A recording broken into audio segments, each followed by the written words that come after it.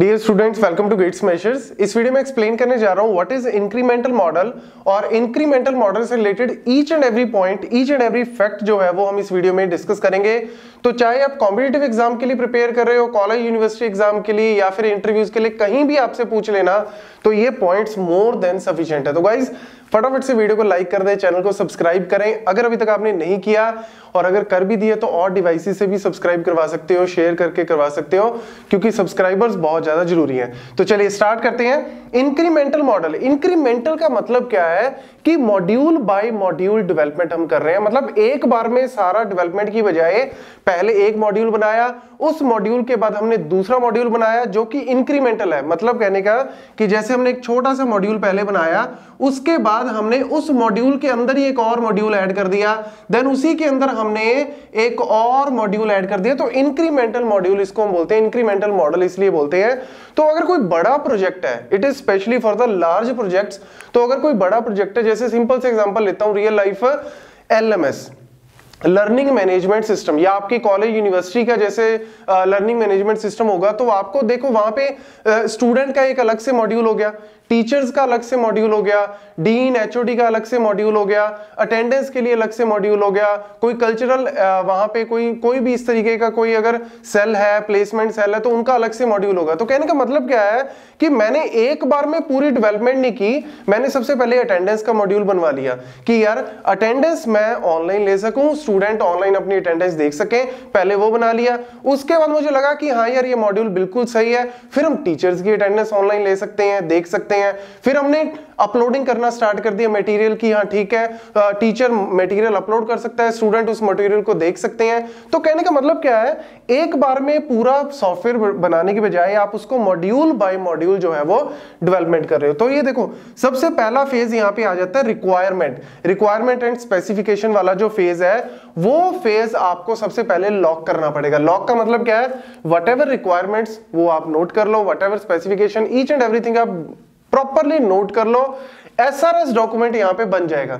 SRS document बनने के बाद you have started the development तो पहले आपने बिल्ड वन बिल्ड वन मतलब पहले मॉड्यूल वन बनाया, उसमें आपने सबसे पहले वही डिज़ाइनिंग की डेवलपमेंट की देन उसके बाद टेस्टिंग आ जाती है और फिर उसको इंप्लीमेंट किया मेंटेन किया। फाइनली फिर बिल्ड नंबर टू मतलब मॉड्यूल नंबर टू पे जाओगे थ्री पे जाओगे फोर तो इस तरीके से आप मॉड्यूल बाय मॉड्यूल क्या कर रहे हो? डेवलपमेंट कर रहे हो। तो अगर आप आपके माइंड में अब आगे होंगे कि what are the advantages what are the disadvantages तो अगर हम इसके पॉइंट्स की बात करें तो देखो वही जो मैं बार बार बोल रहा हूँ module by module then customer interaction maximum है। कस्टमर की देखो, यहाँ पे आप मॉड्यूल वन दे रहे हो। मॉड्यूल आपने वन दे दिया कस्टमर को कस्टमर उस मॉड्यूल को यूज़ कर रहा है। उसको यूज़ करते करते उसको पता लग गया कि यार क्या चेंजेस मुझे नेक्स्ट वाले में चाहिए। क्या मैं ऐड करवाऊं, क्या मैं रिमूव करवाऊं? तो यहाँ पे कस्टमर की इंट्रैक्शन मैक्सिमम है। तो एरर के चांसेस जो है वो क्या होंगे? कम से कम होंगे। एरर के चांसेस आपके कम से कम होंगे। तो ये एक मेजर डेवलपमेंट है मेजर एडवांटेज है। दूसरा इंपॉर्टेंट पॉइंट यहाँ पे क्या आ जाता है? आपको कोई सॉफ्टवेयर मिला, अब आपको एक बार में पूरा बनाना है तो आपको कॉस्ट भी एक बार में लगानी पड़ेगी कंपनी को भी एक बार में कॉस्ट लगानी पड़ेगी मैन पावर पूरी लगानी पड़ेगी, और कस्टमर से भी आपने सारा पैसा ले लिया। नहीं, हम क्या कर रहे हैं कि ठीक है, यार मॉड्यूल वन बना रहे हैं, आपको एक टाइम ड्यूरेशन दे दिया, इतने टाइम में मॉड्यूल वन दे देंगे। उससे हमने उस अमाउंट का मतलब कुछ परसेंट हमने ले लिया ट्वेंटी परसेंट थर्टी परसेंट ले लिया और हमने सारी मैन पावर नहीं लगाई, सारी कॉस्ट एक बार में, सारा machinery and each and everything हमने एक बार में नहीं लिया, हमने इसके अकॉर्डिंग बना लिया। तो उसके बाद हमने सेकंड पे जाएँगे थर्ड पे जाएँगे तो ये कहीं ना कहीं थोड़ा बैलेंस्ड रखता है कॉस्ट वाइज भी। अगर आप बात करो मैन पावर भी आपको एकदम से ज़्यादा लगाने की ज़रूरत नहीं है तो ये एक एडवांटेज यहाँ पे बन जाता है। देन लार्ज प्रोजेक्ट्स के लिए सबसे ज़्यादा इंपॉर्टेंट है ये वेब एप्लीकेशन है, या फिर कोई प्रोडक्ट बेस्ड कंपनीज़ है, उन्होंने कोई प्रोडक्ट लॉन्च करना है तो एक बार में सारा करने की बजाय it is also beneficial for the early release product demand मतलब कोई प्रोडक्ट की डिमांड आ रही है अर्ली मतलब कि उसको जल्दी से जल्दी रिलीज़ करो। तो सारा अगर मैं एक बार में नहीं कर सकता तो मैं उसका कुछ पोर्शन कुछ पार्ट जो है वो मैं अर्ली रिलीज़ कर सकता हूँ। तो इसीलिए ना ये मॉडल एक तरह से क्यों मैं बोल रहा हूँ वेब एप्लीकेशन के लिए एंड्रॉयड या फिर आ, आपकी मोबाइल एप्लीकेशन के लिए क्यों बेटर है? क्योंकि आपने देखा है ना मोबाइल एप्लीकेशन आप इंस्टॉल करते हो वेब एप्लीकेशन करते हो तो उसमें क्या होता है? टाइम बाय टाइम क्या आते रहते हैं? अपडेशन आते रहते हैं specially for the mobile application Android में आपने कोई एप्लीकेशन डाउनलोड की, आज उसको यूज़ कर रहे हो तो आपको कुछ टाइम बाद महीने के अंदर उसका क्या आ जाता है? एक अपडेशन आ जाता है तो आप अपडेट करोगे तो नए फीचर्स इंक्लूड हो जाएँगे। फिर आप अपडेट करोगे दो महीने बाद, फिर नए फीचर्स इंक्लूड हो जाएँगे।